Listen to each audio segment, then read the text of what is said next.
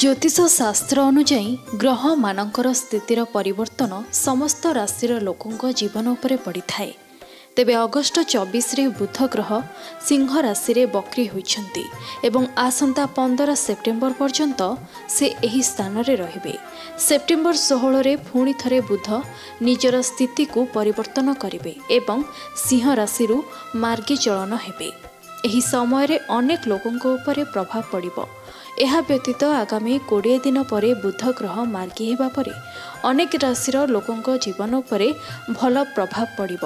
ବୁଧ ଗ୍ରହର ମାର୍ଗୀ ହେବାର ପ୍ରଭାବ ସମସ୍ତ ରାଶିର ଲୋକଙ୍କ ଜୀବନରେ ଦେଖାଯିବ। ଏହି ସମୟରେ ଲୋକଙ୍କ କ୍ୟାରିୟର ଏବଂ ଆର୍ଥିକ ସ୍ଥିତି ଉପରେ ଭଲ ପ୍ରଭାବ ପଡ଼ିପାରେ। ସେପ୍ଟେମ୍ବର ଷୋହଳରେ ଦ୍ୱିପହର ଗୋଟିଏ ଏକୋଇଶ ମିନିଟ୍ରେ ବୁଧ ଗ୍ରହ ସିଧା ଚଳନ କରିବେ। ଏପରି ପରିସ୍ଥିତିରେ ସେପ୍ଟେମ୍ବର ଷୋହଳ ପରେ କିଛି ଲୋକଙ୍କର ଭଲ ଦିନ ଆରମ୍ଭ ହେବାକୁ ଯାଉଛି। ଆସନ୍ତୁ ଜାଣିବା ସେହି ସବୁ ରାଶି ବିଷୟରେ। ପ୍ରଥମରେ ମିଥୁନ ରାଶି।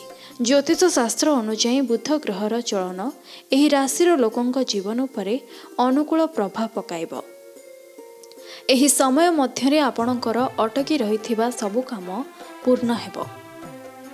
କେବଳ ଏତିକି ନୁହେଁ ଏହି ଅବଧି ମଧ୍ୟରେ ଧନଲାଭ ମଧ୍ୟ ହୋଇପାରେ। ଏଥିସହିତ ଉଚ୍ଚ ପଦାଧିକାରୀଙ୍କ ସହଯୋଗ ମିଳିବ। କର୍ମକ୍ଷେତ୍ରରେ ଉନ୍ନତି ହେବ। ଏହି ସମୟରେ ଆପଣ ଟଙ୍କା ସଞ୍ଚୟ କରିବାରେ ସମର୍ଥ ହେବେ। କର୍କଟ ରାଶି। ବୁଧ ମାର୍ଗୀ ହେବା ପରେ ଏହି ରାଶିର ଲୋକଙ୍କ କ୍ୟାରିୟରରେ ଅନେକ ସୁଯୋଗ ମିଳିବ। ଏହି ମଧ୍ୟରେ ଅଟକି ରହିଥିବା ଟଙ୍କା ମିଳିଯିବ। ଏହି ସମୟରେ ଆତ୍ମବିଶ୍ୱାସ ବୃଦ୍ଧି ପାଇବ। ଏହା ସହିତ ଆପଣ ପରିବାରରେ ଆପଣଙ୍କର ପ୍ରିୟ ଲୋକଙ୍କ ସହିତ ଭଲ ସମୟ ବିତାଇବେ।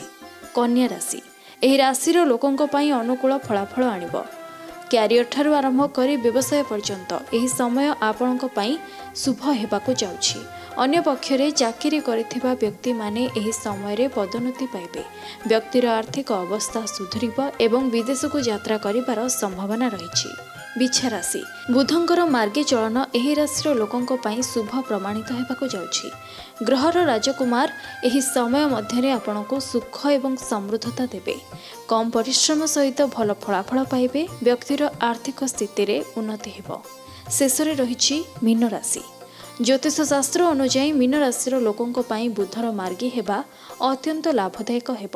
ଚାକିରି କରୁଥିବା ଲୋକଙ୍କ ପାଇଁ ଅତ୍ୟନ୍ତ ଶୁଭ ରହିବ। ଏହି ସମୟରେ ଆପଣ ଜୀବନରେ ସକାରାତ୍ମକ ଫଳାଫଳ ପାଇବେ। ଆପଣ ପଦୋନ୍ନତି ଇତ୍ୟାଦି ମଧ୍ୟ ପାଇବେ। ଅନ୍ୟପଟେ ଯଦି ଆପଣ ଚାକିରି ଖୋଜୁଛନ୍ତି ତେବେ ଏଥର ବହୁତ ଶୁଭ ହୋଇପାରେ। Bureau report K news Odisha.